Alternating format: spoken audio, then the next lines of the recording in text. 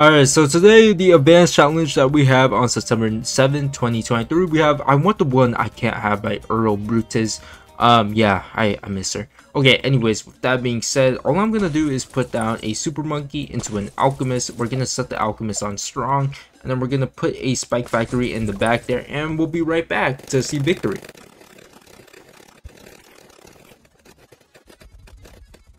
Alright, and that's it. I hope this helped. Make sure you hit that sub, hit that like if that's the case. And with that being said, I hope you guys have a good day. Peace.